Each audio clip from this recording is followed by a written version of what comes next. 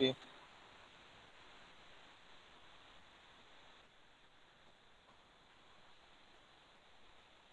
Okay അപ്പൊ നമ്മൾ market മിക്സിനെ പറ്റിയാണ് ഡിസ്കസ് ചെയ്യുന്നത് ഇപ്പോൾ marketing mix is a business tool used in marketing and by marketers The marketing mix is often crucial when determining a product or brand's offer and is often associated with the four P's that is price, product, promotion and place.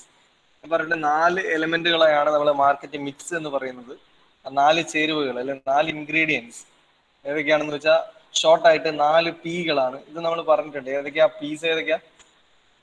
Price product promotion place okay അപ്പോ ഈ marketing mix എന്ന് പറയുന്നത് ഏറ്റവും important ആണ്. നമ്മളൊരു company തുടങ്ങുമ്പോഴൊക്കെ അല്ലെങ്കിൽ നമ്മളൊരു marketing firm ആരംഭിക്കുമ്പോൾ നമ്മൾ ഏറ്റവും പ്രധാനമായിട്ട് ശ്രദ്ധിക്കേണ്ടുന്ന നാല് എലമെന്റുകളാണ് ഈ നാല് കാര്യങ്ങളെ പറ്റിയുള്ള ഡീറ്റെയിൽഡ് സ്റ്റഡിയും അനാലിസിസ് ഒക്കെ നടത്തിയാൽ മാത്രമേ ഒരു പ്രോഫിറ്റ് ലെവലിൽ എനിക്ക് എന്റെ മാർക്കറ്റിനെ അല്ലെ എന്റെ ഫേമിനെ മുമ്പോട്ട് കൊണ്ടുപോകാൻ പറ്റുള്ളൂ. ഓക്കെ അപ്പൊ നാല് പീസ് ഏതൊക്കെയാണ്? Product place promotion and price അല്ലെ? സോ സ്റ്റാർട്ടിങ് ഫ്രം പ്രോഡക്റ്റ് അപ്പൊ ഞാനൊരു കമ്പനി ഒരു മാനുഫാക്ചറിങ് യൂണിറ്റ് ആണ് എന്റെ കമ്പനി അപ്പൊ അവിടുന്ന് ഒരു പ്രൊഡക്റ്റ് ഉണ്ടാക്കി. ആ പ്രൊഡക്റ്റിനെ മാർക്കറ്റിൽ എത്തിച്ച് വിൽപ്പന നടത്തിയാൽ മാത്രമേ എനിക്ക് എന്തുണ്ടാവുള്ളൂ? പ്രോഫിറ്റ് ഉണ്ടാവുള്ളൂ അല്ലെ?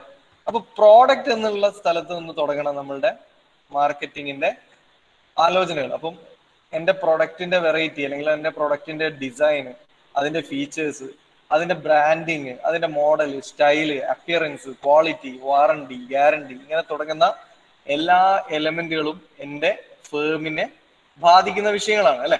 ഞാനിപ്പോ ഒരു കമ്പനി ഒരു മാർക്കറ്റിംഗ് ഫേം ഇപ്പൊ ഞാനിപ്പോ പറഞ്ഞ പോലെ ഒരു മാനുഫാക്ചറിങ് യൂണിറ്റ് ഒരു എക്സാമ്പിൾ ഇപ്പൊ നമ്മൾ വാച്ച് ഉണ്ടാക്കുന്ന ഒരു കമ്പനിയാണ് ഞാൻ തുടങ്ങുന്നതെങ്കിൽ ആ വാച്ചിന്റെ എല്ലാ ഡിസൈനും അല്ലെങ്കിൽ അതിന്റെ ക്വാളിറ്റി അതിന്റെ മറ്റ് ഫീച്ചേഴ്സ് എന്തൊക്കെ ഫീച്ചേഴ്സ് ആ വാച്ചിനുണ്ടോ ആ ഫീച്ചേഴ്സ് ഒക്കെ എന്റെ പ്രോഫിറ്റിനെ ഡയറക്റ്റ് ആയിട്ട് ഇമ്പാക്ട് ചെയ്യില്ലേ? അല്ലെങ്കിൽ ആ ഒരു ഡയറക്റ്റ് പ്രൊപ്പോർഷൻ ആയിരിക്കില്ലേ? ഞാൻ അതിന്റെ എന്തൊക്കെ ഫീച്ചേഴ്സ് കസ്റ്റമർ ഓറിയന്റഡ് ആയിട്ട് ചെയ്യുന്നോ?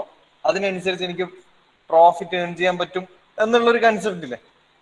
സോ നമ്മൾ വെറുതെ ഒരു കമ്പനി തുടങ്ങി വെറുതെ ഒരു പ്രൊഡക്റ്റ് ഉണ്ടാക്കുക അല്ല ചെയ്യുന്നത് പ്രോഫിറ്റ് ലെവൽ കൂട്ടാൻ ആവശ്യമായ രീതിയിൽ പ്രൊഡക്റ്റിനെ പറ്റി നല്ല കാഴ്ചപ്പാടോടുകൂടി ചെയ്താൽ മാത്രമേ നമുക്ക് പ്രോഫിറ്റ് ഏൺ ചെയ്യാൻ പറ്റൂ. So product design features brand name models style appearance quality warranty then package design packaging material packaging size appearance and labelling then pre sale and after sale service ഇതൊക്കെയാണ് പ്രൊഡക്റ്റുമായി ബന്ധപ്പെടുന്ന കാര്യങ്ങൾ നമ്മൾ പറയുന്നത്. അപ്പൊ നമ്മൾ മാർക്കറ്റിംഗ് മിക്സ് എന്ന് പറയുമ്പോൾ നമുക്കറിയാം ഏതൊരു ഫൈനൽ എലമെന്റിനും നമ്മൾ ഒരുപാട് ചേരുവകൾ നമ്മൾ അന്ന് പറയുന്നത് ചായ എന്ന് പറയുന്ന സാധനത്തിന്റെ ചേരുവകളാണ് അല്ലെങ്കിൽ മിക്സുകൾ ഏതൊക്കെയാന്ന് വെച്ച് കഴിഞ്ഞാൽ ഒന്ന് വെള്ളമാണ് മറ്റൊന്ന് ചായപ്പൊടിയാണ് അല്ലെ? പിന്നെ പാൽ വേണം പഞ്ചസാര വേണം. ഇതൊക്കെ കൃത്യമായ രീതിയിൽ ചെയ്താൽ മാത്രമേ നമുക്കൊരു ബെസ്റ്റ് ടീ ഉണ്ടാക്കാൻ പറ്റുള്ളൂ അല്ലെ?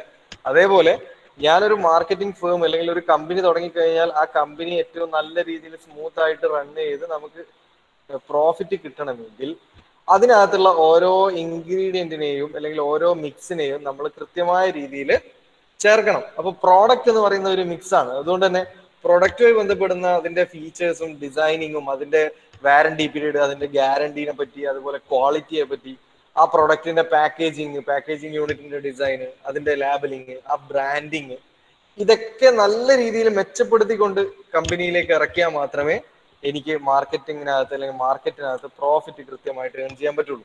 അതേപോലെ നെക്സ്റ്റ് വരുന്നതാണ് പ്രൈസ് പ്രൈസ് എന്ന് പറഞ്ഞാൽ അറിയാം വില അല്ലെ? അപ്പോ ഞാനിപ്പോ പ്രൊഡക്റ്റ് ഒക്കെ ഉണ്ടാക്കി ഈ പറയുന്ന ഫീച്ചേഴ്സ് ഒക്കെ ഉള്ള ഒരു വാച്ച് ഉണ്ടാക്കി വാച്ച് ഞാൻ മാർക്കറ്റിലേക്ക് അതിനെപ്പറ്റി അതിന്റെ പ്രൈസിനെ പറ്റി ഞാൻ കാര്യമായി ചിന്തിക്കാതെ സുമാർ ഒരു വിലക്ക് ഞാൻ അങ്ങ് വിൽക്കുകയാണ്.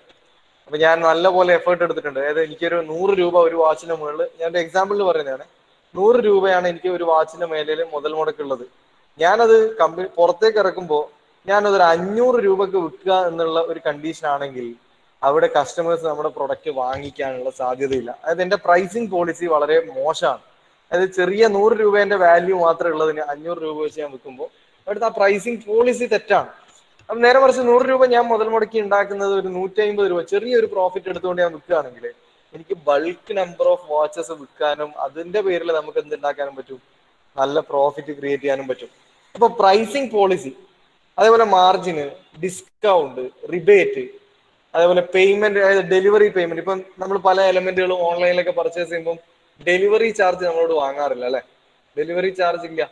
ഡെലിവറി ചാർജ് ആ ഒരു ഫ്രീ സർവീസ് ആയിട്ട് പ്രൊവൈഡ് ചെയ്യുക അങ്ങനെയുള്ള കോസ്റ്റുമായിട്ട് റിലേറ്റ് ചെയ്യുന്ന അല്ലെ പൈസയുമായിട്ട് റിലേറ്റ് ചെയ്യുന്ന ഒരുപാട് ഫാക്ടേഴ്സ് ഉണ്ട് ഒരു കമ്പനി തുടങ്ങുമ്പോൾ നമ്മൾ ചിന്തിക്കേണ്ടത്. അപ്പൊ ആ പ്രൈസിങ് പോളിസിയൊക്കെ എന്റെ കമ്പനിയുടെ സ്മൂത്ത് റണ്ണിങ്ങിനെ ഇൻഡയറക്റ്റ് അല്ല ഡയറക്റ്റ് ആയിട്ടാണ് ബാധിക്കുക. അതുകൊണ്ട് തന്നെ പ്രൈസിങ് പോളിസി നമ്മൾ കറക്റ്റ് മിക്സ് ആയിരിക്കണം. അപ്പോൾ ഞാനൊരു വാച്ച് ഉണ്ടാക്കാൻ തീരുമാനിച്ചു. ആ വാച്ചിന് എല്ലാ ഫീച്ചേഴ്സും കസ്റ്റമേഴ്സ് ആവശ്യപ്പെടുന്ന ഫീച്ചേഴ്സ് ഒക്കെ അതിൽ കൊടുത്തു. ഇനി രണ്ടാമത്തെ മിക്സ് എടുക്കുകയാണ് പ്രൈസ് ഞാൻ അതിന്റെ പ്രൈസിങ് പോളിസീസും അതിന് വരുന്ന ഡിസ്കൗണ്ടും അതിന് വരുന്ന മറ്റ് കോസ്റ്റ് റിലേറ്റഡ് ആയിട്ടുള്ള കാര്യങ്ങളൊക്കെ കസ്റ്റമേഴ്സിന്റെ താല്പര്യത്തിനനുസരിച്ച് വെച്ച് കഴിഞ്ഞാൽ എന്റെ കമ്പനി സ്മൂത്ത് ആയിട്ട് റൺ ചെയ്യും. സോ രണ്ടാമത്തെ മിക്സും നമ്മൾ പറഞ്ഞു പ്രൈസ് മൂന്നാമത്തത് പ്രൊമോഷൻ പ്രൊമോഷൻ എന്ന് പറഞ്ഞാൽ നമുക്കറിയാം അതിന്റെ അഡ്വർടൈസിംഗ് ആണ്. എങ്ങനെയാണ് ഇതിനെ ആൾക്കാരിലേക്ക് പ്രൊമോട്ട് ചെയ്യുക? ഇപ്പൊ സ്പെഷ്യൽ ഓഫേഴ്സ് വെച്ചിട്ടാവാം. ഇപ്പൊ നമ്മൾ പിന്നെ ബൈ വൺ ഗെറ്റ് വൺ അല്ലെങ്കിൽ ബൈ ടു ഗെറ്റ് വൺ അങ്ങനെയൊക്കെ പറഞ്ഞിട്ട് നമ്മൾ കുറെ പ്രൊമോഷൻസ് കൊടുക്കുന്നത് നമ്മളിപ്പോ പല ഷർട്ടും പാന്റും ബ്രാൻഡഡ് എലമെന്റ് ഒക്കെ വാങ്ങുമ്പോൾ നമ്മൾ അങ്ങനെയുള്ള ഒരു ഓഫർ കണ്ടിട്ട് പോയി വാങ്ങാറുണ്ട്. അല്ലെ? ബൈ ടു ഗെറ്റ് ടു എന്നൊക്കെ കണ്ടാൽ നമ്മൾ ഒരു ഒന്നോ രണ്ടോ ആൾക്കാർ കൂടി ചേർന്നിട്ട് ഒരുമിച്ച് പോയി ഷെയർ ചെയ്ത് കഴിഞ്ഞാൽ രണ്ടാൾക്ക് ഉപകാരപ്പെടും എന്നുള്ള ഒരു ടേംസിലൊക്കെ നമ്മൾ പോയി വാങ്ങാറുണ്ട്. അത് തന്നെ ആക്ച്വലി ആ ഒരു ഷർട്ട് ഉണ്ടാക്കുന്ന കമ്പനിയുടെ പ്രൊമോഷൻ മിക്സിൽ ഉണ്ടാക്കിയേക്കുന്ന ഒരു പോസിറ്റീവ് സൈഡാണത് പ്രൊമോഷൻ ഓഫേഴ്സ് അതേപോലെ അഡ്വർടൈസിങ് ചില ആഡുകൾ കണ്ടിട്ട് നമ്മുടെ പ്രൊഡക്റ്റിനോട് ഒരു താല്പര്യം ഇല്ലാത്തവരും ചില ആഡുകൾ കണ്ടു കഴിഞ്ഞാൽ നമ്മൾ എന്ത് ചെയ്യാറുണ്ട്? പർച്ചേസ് ചെയ്യാറുണ്ട്. അതേപോലെ ഡയറക്റ്റ് മെയിലിംഗ് നിങ്ങൾക്കൊക്കെ നിങ്ങളുടെ മെയിൽ ഐ ഡിയിലേക്കൊക്കെ നിങ്ങൾ എപ്പോഴെങ്കിലൊക്കെ ഓൺലൈൻ പർച്ചേസിംഗ് ഒക്കെ നടത്തിയിട്ടുണ്ടെങ്കിൽ ആ ഒരു ഇത് വെച്ചിട്ട് സിമിലർ എലമെന്റുകളുടെ അഡ്വർടൈസ്മെന്റ്സും കാര്യങ്ങളും നിങ്ങളുടെ മെയിലിലേക്ക് വരാറുണ്ട്. അല്ലെങ്കിൽ നിങ്ങൾക്ക് പോസ്റ്റ് കാർഡ് ആയിട്ട് വരാം. അങ്ങനെ മെയിൽ ആയിട്ട് വരാം. പോസ്റ്റേഴ്സ് ആയിട്ട് വരാം. അതുപോലെ ഫ്രീ ഗിഫ്റ്റ് ആയിട്ട് വരാം. നമ്മൾ സാമ്പിൾ എന്നൊക്കെ പറയും. ഫ്രീ സാമ്പിൾ നമ്മളിപ്പോ ബേക്കറി കടയിലൊക്കെ പോയാൽ സാമ്പിൾ വാങ്ങും അല്ലെ? ചില മിക്സർ അങ്ങനെയുള്ള സാധനങ്ങളൊക്കെ സാമ്പിൾ വാങ്ങി നോക്കിയിട്ട് നമ്മൾ എന്ത് ചെയ്യും? ഇഷ്ടപ്പെട്ടിട്ടുണ്ടെങ്കിൽ സെലക്ട് ചെയ്യും. അതും ആക്ച്വലി ഒരു പ്രൊമോഷൻ ക്യാമ്പയിൻ ആണ്. അപ്പൊ ആ രീതിയിൽ ഫ്രീ ഗിഫ്റ്റ് ആയിട്ടും കോമ്പറ്റീഷൻസ് ഒക്കെ ആയിട്ട് നമ്മുടെ പ്രൊഡക്റ്റിനെ കസ്റ്റമേഴ്സിന്റെ ഇടയിൽ എത്തിക്കാൻ വേണ്ടി നമ്മൾ ഡിസൈഡ് ചെയ്യുന്ന ടൂളാണ് പ്രൊമോഷൻ ടൂൾ അപ്പോൾ ഒരു പ്രൊഡക്റ്റും ഒരു പ്രൈസും മാത്രം നിശ്ചയിച്ചാൽ പോരാ അത് കസ്റ്റമേഴ്സിലേക്ക് കൃത്യമായിട്ട് എത്തിച്ചുകൊണ്ട് അവർ ഒന്ന് അവരുടെ ഇടയിൽ അതിനൊരു ആക്സെപ്റ്റൻസ് കിട്ടുന്ന രീതിയിലുള്ള പ്രൊമോഷൻ ടൂളിനെ പറ്റി നമ്മൾ കൃത്യമായി പ്ലാൻ ചെയ്യണം. ഓക്കെ ദെൻ നാലാമത്താണ് നാലാമത്തെ പി ദറ്റ് ഈസ് പ്ലേസ് സ്ഥലം. ഇതെങ്ങനെ വിൽക്കും? എവിടുന്ന് വിൽക്കും? പ്ലേസ് എന്ന് പറയുന്നത് നമ്മൾ ആ ഫിസിക്കൽ പ്ലേസ് തന്നെയാണ് ഉദ്ദേശിക്കുന്നത്. എവിടെ നിന്നാണ് ഇത് വിൽപ്പന നടത്തുക ഞാൻ വാച്ച് ഉണ്ടാക്കി. വാച്ചിന് പ്രൈസ് ഞാൻ നിശ്ചയിച്ചു. അതിനൊരു പ്രൊമോഷൻ ടൂളും ഞാൻ ഫിക്സ് ചെയ്തു. അഡ്വർടൈസ്മെന്റ് ത്രൂ മെയിലിനോ അല്ലെങ്കിൽ അഡ്വർടൈസ്മെന്റ് ത്രൂ സോഷ്യൽ മീഡിയന്നോ അല്ലെങ്കിൽ വേറെ ഏതെങ്കിലും രീതിയിൽ അതിന്റെ അഡ്വർടൈസ്മെന്റും ഞാൻ പ്ലാൻ ചെയ്തു. ഇനി ഇത് എവിടെ നിൽക്കും place channels of distribution that is retail market ഉണ്ട് ഹോൾസെയിൽ മാർക്കറ്റ് ഉണ്ട് മെയിൽ ഓർഡർ ഉണ്ട് ഇന്റർനെറ്റ് ഉണ്ട് ഡയറക്റ്റ് സെയിൽ ഉണ്ട് മൾട്ടി ചാനൽ മാർക്കറ്റിംഗ് ഉണ്ട്. അപ്പൊ നമ്മുടെ പ്രോഡക്റ്റ് ഇപ്പൊ ഞാൻ ഉണ്ടാക്കിയ വാച്ച് ഞാൻ വിൽക്കാൻ ഉദ്ദേശിക്കുന്നത് ത്രൂ ഇന്റർനെറ്റ് ആണ്. അതായത് സോഷ്യൽ മീഡിയ മാർക്കറ്റിംഗ് ആണ് ഞാൻ ഉദ്ദേശിക്കുന്നത്. അപ്പോൾ ഞാൻ എന്തായിരിക്കും ഇതിനു വേണ്ടിയിട്ടുള്ള പ്രൊമോഷൻ ടൂൾ ഉപയോഗിച്ചിട്ടുണ്ടാവുക? സോഷ്യൽ മീഡിയയിലൂടെയുള്ള പ്രൊമോഷൻ ടൂൾ ആയിരിക്കും ഞാൻ ഫിക്സ് ചെയ്തിട്ടുണ്ടാവുക. പ്രൈസിങ് പ്രൈസിങ് ഇവരെ ക്യാച്ച് ക്യാച്ച് ചെയ്യാൻ വേണ്ടി അല്ലെങ്കിൽ ഇവരെ ഒന്നുകൂടി അട്രാക്ട് ചെയ്യാൻ പറ്റുന്ന രീതിയിലുള്ള ഒരു പ്രൈസ് ആയിരിക്കും ഞാൻ അതിന് നിശ്ചയിച്ചിട്ടുണ്ടാവുക. ദെൻ ഈ രീതിയിൽ നാല് കാര്യങ്ങളും ഒത്തൊരുമിച്ച് വന്നാലാണ് എനിക്ക് എന്റെ കമ്പനിയെ ഏറ്റവും സ്മൂത്ത് ആയിട്ട് നല്ല പ്രോഫിറ്റ് ഉണ്ടാക്കിക്കൊണ്ട് റൺ ചെയ്യാൻ പറ്റുള്ളൂ. ഇതിൽ ഏതെങ്കിലും ഒരു മിക്സ് പ്രോഡക്റ്റ് അല്ലെങ്കിൽ പ്രൈസ് അല്ലെങ്കിൽ പ്രൊമോഷൻ അല്ലെങ്കിൽ പ്ലേസ് ഈ നാലിൽ ഏതെങ്കിലും ഒരു പ്രൊമോഷൻ സോറി ഒരു മിക്സ് നമ്മൾ മോശമായിട്ടാണ് വരുന്നതെങ്കിൽ അവിടെ എന്തെങ്കിലും പാളിച്ച വന്നിട്ടുണ്ടെങ്കിൽ എന്റെ നമ്മുടെ കമ്പനിയുടെ റണ്ണിങ്ങിനെ അത് ബാധിക്കും. അതൊരു എക്സാമ്പിൾ നമ്മളെ എല്ലാ മിക്സും ഓക്കെയാണ് പക്ഷെ പ്രൊഡക്റ്റ് എന്ന് പറയുന്ന മിക്സ് പഴയ പ്രൊഡക്റ്റ് അല്ലെങ്കിൽ പഴയ ഡിസൈനിലുള്ള ആ ഒരു പ്രോഡക്റ്റ് ആണ് ഞാൻ ഇപ്പോഴും വിൽക്കുന്നതെങ്കിൽ ഞാൻ ഇതിന്റെ മുകളിൽ എത്ര പ്രൈസ് ഡിസ്കൗണ്ട് ചെയ്തിട്ടും കാര്യമില്ല എത്ര അഡ്വർടൈസ്മെന്റ് കൊടുത്തിട്ടും കാര്യമില്ല. ഇതിനു വേണ്ടി ഞാൻ ഓൺലൈനോ അല്ലെങ്കിൽ ഡയറക്റ്റ് സെയിലോ എന്ത് രീതിയിലുള്ള പ്ലേസും ഞാൻ ചൂസ് ചെയ്തിട്ട് കാര്യമില്ല. പ്രൊഡക്റ്റ് എന്ന് പറയുന്ന മിക്സ് അവിടെ വളരെ പോക്കാണ്. അതായത് പ്രൊഡക്റ്റ് എന്ന് പറയുന്ന പഴയ മോഡലിലാണ് ഇപ്പോഴും ഓടിക്കൊണ്ടിരിക്കുന്നത്. അങ്ങനെ വരുമ്പോൾ എന്റെ കമ്പനി റൺ ചെയ്യില്ല. അതേപോലെ ഇതിൽ ഏത് മിക്സ് ആവട്ടെ ഏതെങ്കിലും ഒരു മിക്സിന് ഒരു പ്രശ്നം വന്നു കഴിഞ്ഞാൽ അവിടെ എന്തുണ്ടാവും? നമ്മുടെ കമ്പനിയുടെ സ്മൂത്ത് റണ്ണിങ്ങിനെ അത് ബാധിക്കും. സോ മാർക്കറ്റിംഗ് മിക്സ് എന്നുള്ളത് നാല് പി ആണെന്ന് പറഞ്ഞു. ഏതൊക്കെയാ? Product price promotion and place place ഇനി ഇതിന് കറസ്പോണ്ടിങ് ആയിട്ട് സംടൈംസ് ഫോർ സീസ് എന്ന് പറയുന്നത് നാല് സീകളുടെ പേരിലും ഇത് അറിയപ്പെടാറുണ്ട്. ആ നാല് സി എന്ന് പറയുന്നത് പ്രൊഡക്റ്റിന് കറസ്പോണ്ടിങ് ആയിട്ട് ദാറ്റ് ഈസ് കസ്റ്റമർ സൊല്യൂഷൻ അതായത് കസ്റ്റമേഴ്സിന്റെ സൊല്യൂഷനെ ആണല്ലോ നമ്മൾ പ്രൊഡക്റ്റ് എന്ന് പറയാം. അവരുടെ ഒരു വാണ്ടിനെ അല്ലെങ്കിൽ അവരുടെ ഒരു നീഡിനെ സാറ്റിസ്ഫൈ ചെയ്യുന്ന എലമെന്റിനെ അല്ലേ നമ്മൾ പ്രൊഡക്റ്റ് എന്ന് പറയാം. അപ്പൊ ആ ഒരു കൺസെപ്റ്റിൽ പ്രൊഡക്റ്റിന് പകരം നമുക്ക് ഒന്നാമത്തെ C that is customer solution പ്രൈസിന് പകരം എന്തായിരിക്കും? അങ്ങനെ ചിന്തിച്ചു നോക്കിയേ. സി എന്നുള്ള ടേമിൽ വരാൻ പ്രൈസിന് പകരം ആരായിരിക്കും ഉണ്ടാവുക? Cost yes customer cost then promotion എന്തായിരിക്കും സി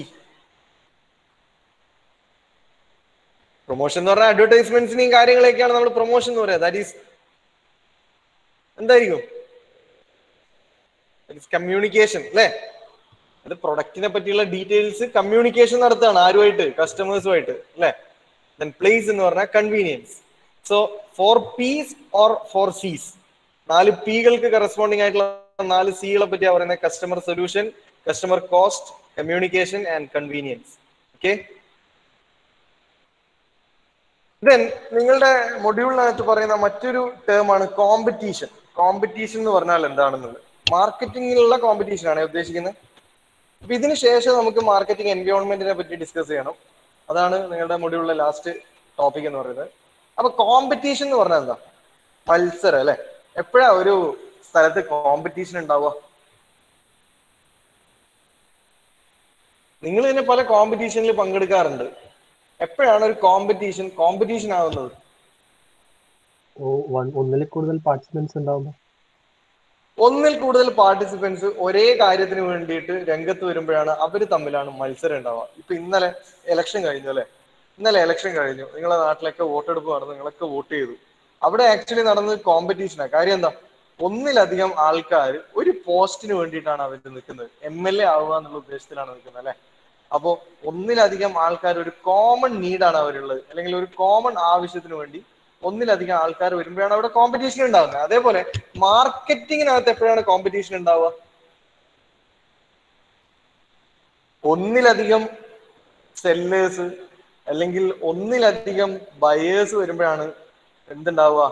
കോമ്പറ്റീഷൻ ഉണ്ടാവുക. ഇപ്പൊ നിങ്ങൾ നേരത്തെ ഉണ്ടാക്കി വെച്ച വാച്ച് തന്നെ നമുക്ക് എടുക്കാം. എക്സാമ്പിൾ നിങ്ങൾ നിങ്ങളെ ക്ലാസ് ഒരു കമ്പനിയാണ് നിങ്ങളുടെ കമ്പനി ഒരു വാച്ച് ഉണ്ടാക്കുന്നു നിങ്ങളൊരു മെക്കാനിക്കൽ ഓറിയന്റഡ് ആയിട്ടുള്ള ഒരു കമ്പനി നിങ്ങൾ എന്തോ ആ വാച്ചിന് ഒരു പേര് എന്തെങ്കിലും റോയൽ മെക് വാച്ച് എന്നെങ്ങാനും പേരിട്ടോ?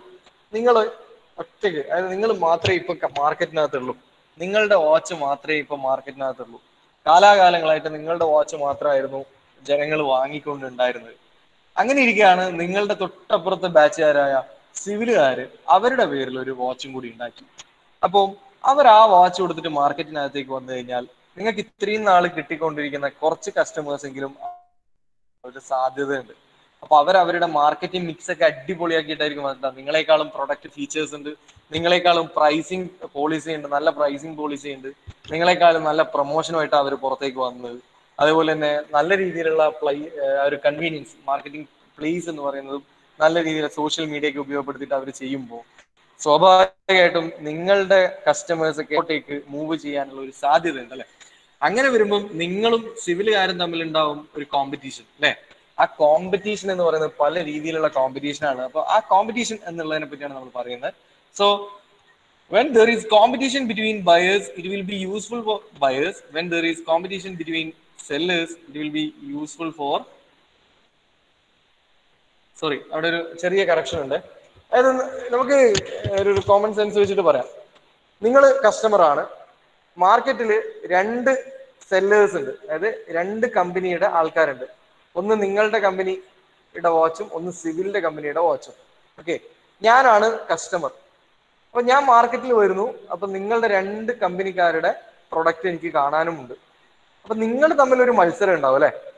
കസ്റ്റമേഴ്സിനെ പിടിക്കുക എന്നുള്ളത്. അപ്പൊ നിങ്ങൾ തമ്മിലുള്ള മത്സരം കൊണ്ട് ഗുണം കിട്ടുന്നതായിരിക്കും. വാങ്ങാൻ വരുന്നവർക്ക് വാങ്ങാൻ വരുന്ന കസ്റ്റമേഴ്സിനായിരിക്കും അല്ലെ? സോ കോമ്പറ്റീഷൻ ബിറ്റ്വീൻ സെല്ലേഴ്സ് ഉണ്ടാവുമ്പോൾ അതിന്റെ യൂസ്ഫുൾനെസ് ആയിരിക്കും കിട്ടും ബയേഴ്സിന് കിട്ടും കസ്റ്റമേഴ്സിന് കിട്ടും. ഇനി നേരെ തിരിച്ച്. കസ്റ്റമേഴ്സിന് ഇടയിൽ ഒരു കോമ്പറ്റീഷൻ ഉണ്ടെങ്കിൽ അതിന്റെ ഗുണം ആർക്കായിരിക്കും കിട്ടുക? Sellers when there is competition between buyers it will be useful to sellers അല്ലെ? കസ്റ്റമേഴ്സിന്റെ ഇടയിൽ ഒരു കോമ്പറ്റീഷൻ വരികയാണെങ്കിൽ അതിനെ കൊണ്ടുള്ള നേട്ടം കമ്പനിക്കാർക്കായിരിക്കും വിൽക്കുന്നവർക്കായിരിക്കും അല്ലേ? അല്ലെ? അപ്പൊ ഈ കോമ്പറ്റീഷൻ എന്ന് പറയുന്നത് കസ്റ്റമേഴ്സിന്റെ ഇടയിലും വരാം സെല്ലേഴ്സിന്റെ ഇടയിലും വരാം. അല്ലെങ്കിൽ ബയേഴ്സിന്റെ ഇടയിലും വരാം സെല്ലേഴ്സിന്റെ ഇടയിലും വരാം. അപ്പൊ ഈ രണ്ട് രീതിയിലുള്ള കോമ്പറ്റീഷൻ വരുമ്പോഴും അതിന്റെ ഗുണം കിട്ടുന്നതും രണ്ട് ഡിഫറെന്റ് ആൾക്കാരാണ്. ബയേഴ്സ് തമ്മിലാണ് കോമ്പറ്റീഷൻ എങ്കിൽ സെല്ലറിന് കിട്ടും സെല്ലേഴ്സ് തമ്മിലാണ് കോമ്പറ്റീഷൻ എങ്കിൽ ബയേഴ്സിന് അതിന്റെ അഡ്വാന്റേജ് കിട്ടും. Okay then types of competition രണ്ട് രീതിയിലുള്ള കോമ്പറ്റീഷൻ ആണ് മാർക്കറ്റിനകത്തുള്ളത് first one is perfect competition and imperfect competition എന്താണ് പെർഫെക്റ്റ് കോമ്പറ്റീഷനും എന്താണ് ഇംപെർഫെക്റ്റ് കോമ്പറ്റീഷൻ പെർഫെക്റ്റ് ആ പേരിൽ തന്നെ ഉണ്ട്. It is a healthy condition of the market if there is perfect competition in the market then no seller or group of sellers will have control over the price and determine their level of profit. അതായത് perfect competition എന്താന്ന് വെച്ച് കഴിഞ്ഞാൽ ഞാനും അല്ലെ നിങ്ങളുടെ നിങ്ങൾ മെക്കുകാരും സിവിലുകാരുമാണ് ഇപ്പോ ഈ സാധനം വിൽക്കുന്നവർ പക്ഷെ നിങ്ങൾ വിൽക്കുന്നത് രണ്ടാൾക്കാരും ഒരേ വിലയിലാണ് വിൽക്കുന്നത്. രണ്ടാൾക്കാരും ഒരേ പ്രൊഡക്റ്റ് തന്നെയാണ് വിൽക്കുന്നത്. രണ്ടാൾക്കാരും വിൽക്കുന്ന പ്രൊഡക്റ്റിന്റെ എല്ലാ ഫീച്ചേഴ്സും സെയിം ആണ്. അങ്ങനെയാണെങ്കിൽ കസ്റ്റമേഴ്സ് നിങ്ങളിൽ താല്പര്യമുള്ള ഒരാളെ സെലക്ട് ചെയ്യും അല്ലെ? അത് നിങ്ങളുടെ ഇടയിൽ എന്തില്ല? മറ്റു കാര്യങ്ങളിലൊന്നും വ്യത്യാസമൊന്നുമില്ല. ഇപ്പൊ നിങ്ങൾ ഉണ്ടാക്കുന്ന വാച്ചിനുള്ള അതേ ഫീച്ചേഴ്സ് തന്നെയാണ് സിവിലുകാർ ഉണ്ടാക്കുന്ന വാച്ചിനും ഉള്ളത് നിങ്ങൾ കൊടുക്കുന്ന അതേ പൈസക്കാണ് അവരും കൊടുക്കുന്നത്. നിങ്ങൾ പ്രൊവൈഡ് ചെയ്യുന്ന എല്ലാ ഫെസിലിറ്റീസും സിവിലുകാരും പ്രൊവൈഡ് ചെയ്യുന്നുണ്ടെങ്കിൽ ഒരു കസ്റ്റമർ എന്നുള്ള നിലയ്ക്ക് ഞാൻ എവിടെ വേണമെങ്കിലും പോയിട്ട് വാങ്ങാൻ എനിക്ക് സ്വാതന്ത്ര്യമുണ്ട്. നേരെ മറിച്ച് നിങ്ങളുടെ കൂട്ടത്തിൽ ആരെങ്കിലും ഒരാൾ പ്രൈസ് കുറക്കുകയാണെങ്കിൽ ഞാൻ ചിലപ്പോൾ അവരിലേക്ക് പെട്ടെന്ന് തന്നെ പോകും. ഇവിടെ വേറെ രീതിയിലുള്ള വ്യത്യാസങ്ങളൊന്നുമില്ല. എല്ലാം പെർഫെക്റ്റ് ആണ്. അങ്ങനെ വരുമ്പോ അവിടെ നടക്കുന്ന ആ ഒരു കോമ്പറ്റീഷൻ മോഡിനെയാണ് പെർഫെക്റ്റ് കോമ്പറ്റീഷൻ എന്ന് പറയുന്നത്. മനസ്സിലായോ?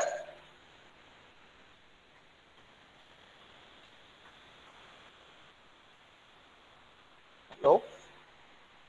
ഒന്നും കൂടി പറയാം. ഹലോ?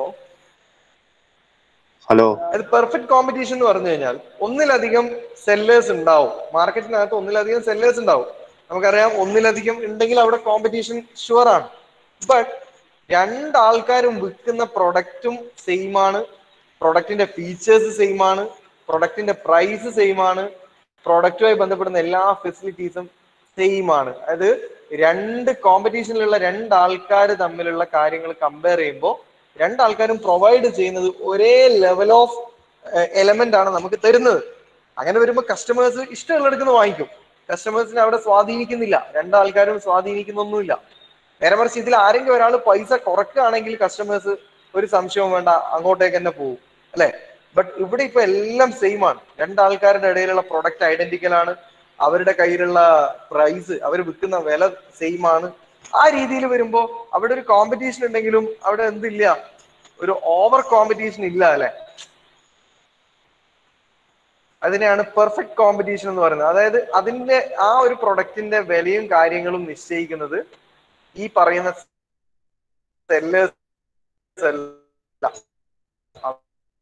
അവർക്കും മേലെയുള്ള ആരോ ആണ് ഇപ്പൊ നിങ്ങൾ ഏതെങ്കിലും ഒരു കോമൺ നീഡിന് വേണ്ടി നിങ്ങൾ വാങ്ങിക്കുന്ന ഇപ്പൊ ടൂത്ത് ബ്രഷ് പല്ല് തേക്കുന്ന ബ്രഷിൽ ഈ ബ്രഷ് കോൾഗേറ്റിന്റെ ബ്രഷ് സിബാക്കേന്റെ ബ്രഷ് പെക്സോഡന്റിന്റെ ബ്രഷ് ഇങ്ങനെ പല ടൈപ്പ് ബ്രഷ് ഉണ്ട്. അപ്പൊ ഈ ബ്രഷ് ഞാനിപ്പോ കോൾഗേറ്റിന്റെ ബ്രഷ് ആണ് കണ്ടിന്യൂസ് ആയിട്ട് യൂസ് ചെയ്യുന്നത്. ഞാൻ നാളിതുവരെ യൂസ് ചെയ്തത് കോൾഗേറ്റിന്റെ ബ്രഷാണ് ഞാൻ നാട്ടിലേക്ക് ഇറങ്ങിയപ്പോ കടയിലേക്ക് പോയപ്പോ എന്റെ നാട്ടിൽ ഒരു മൂന്നാൽ കടകൾ അടുപ്പിച്ചടുപ്പിച്ചിട്ടുണ്ട്. ഇവിടെ എല്ലാ സ്ഥലത്തും ഈ ബ്രഷിന് കോൾഗേറ്റിന്റെ ബ്രഷിന് മുപ്പത് രൂപയാണ്.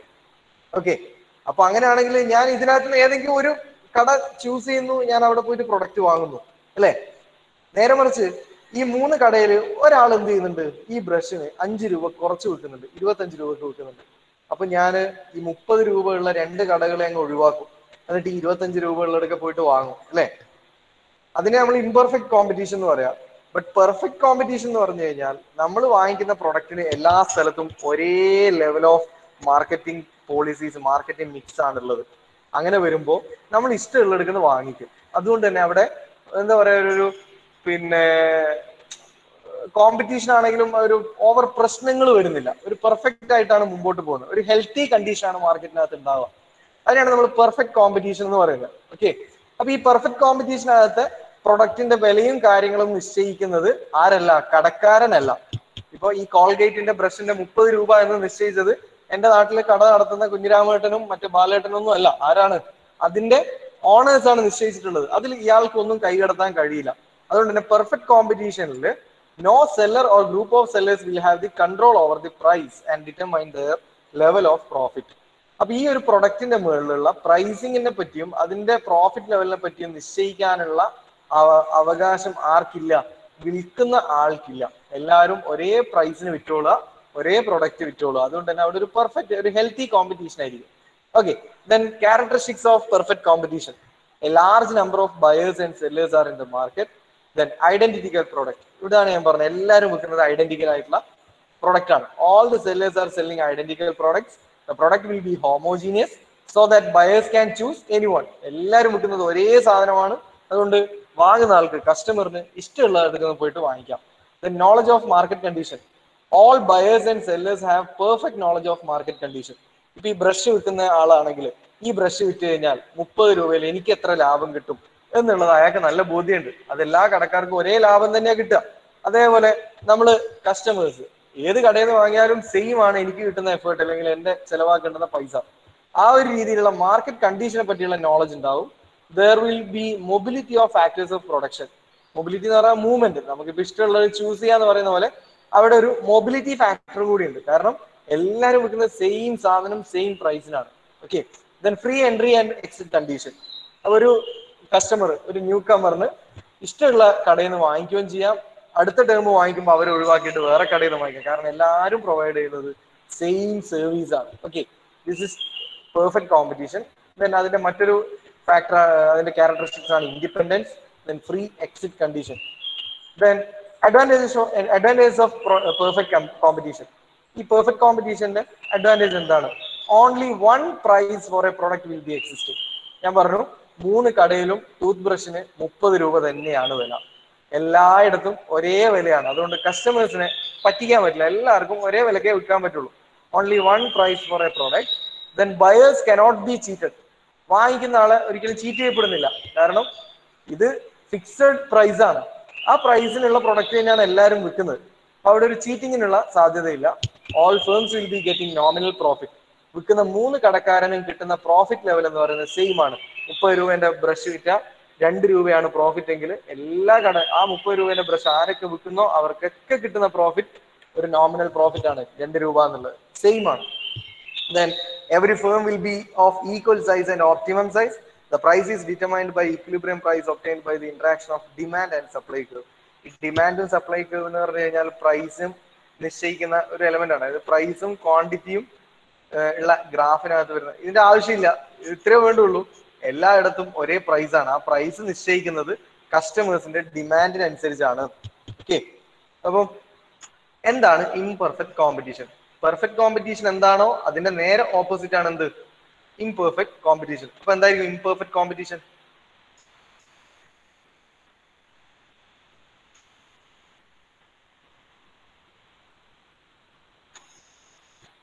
പറയടാ.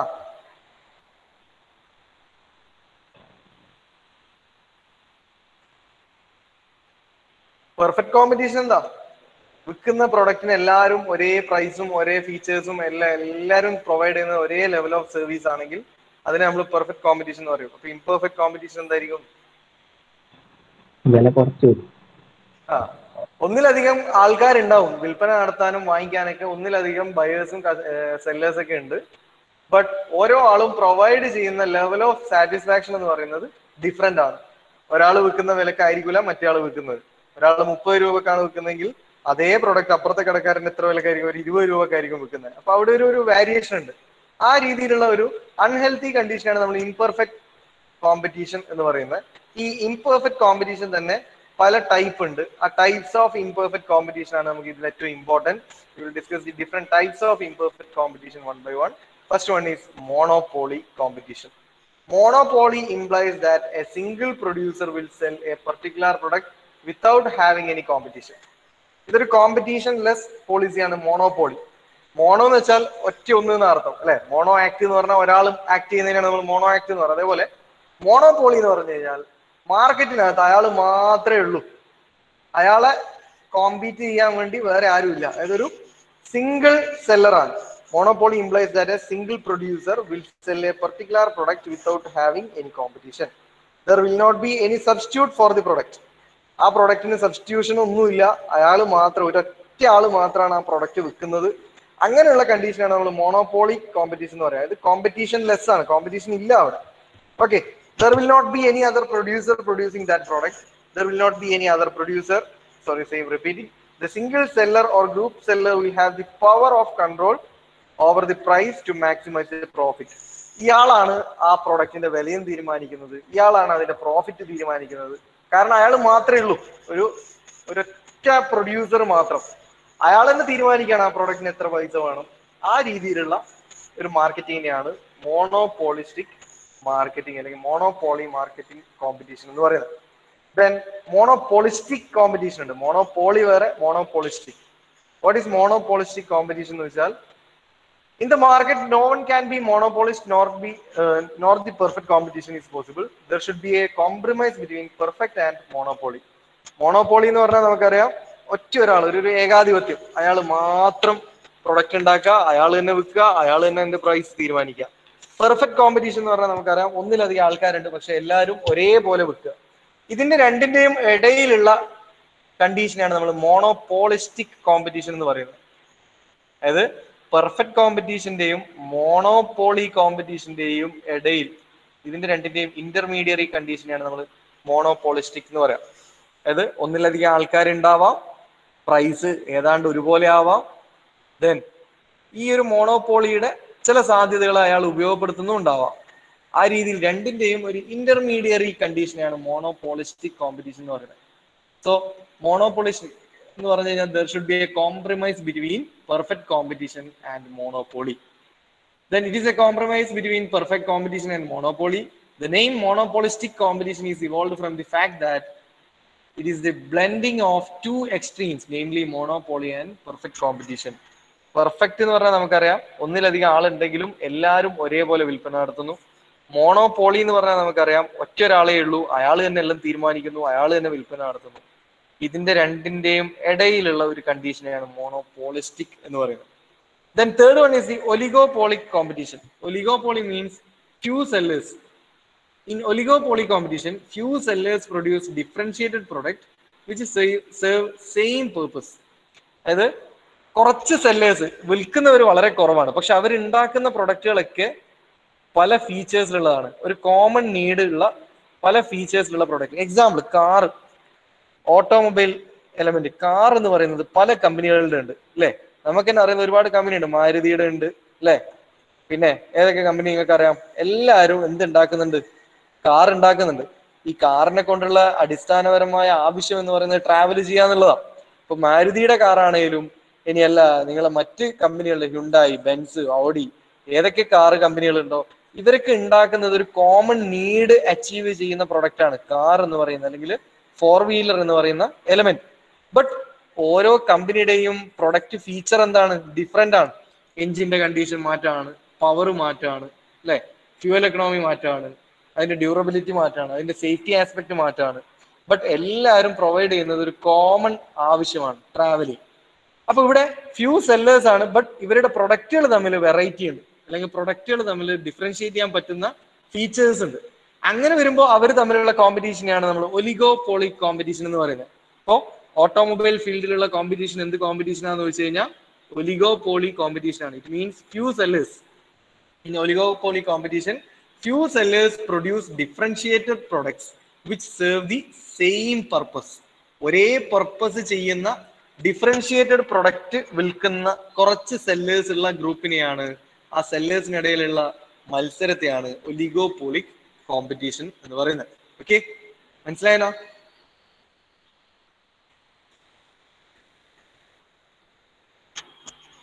അപ്പോ ഞാനിപ്പോ രണ്ട് എക്സാമ്പിൾ ഒരു മാരുതിയുടെ എക്സാമ്പിൾ പറയുന്നു.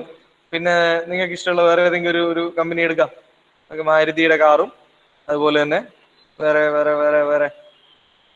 ആ ഒരു ലെവലിൽ തന്നെയുള്ള ലക്ഷറീസ് ഒന്നും അല്ലാതെ വേറെ ഏതെങ്കിലും ഒരു കമ്പനി നിങ്ങൾക്ക് ഇഷ്ടമുള്ള ഒരു കമ്പനി എടുത്തോ?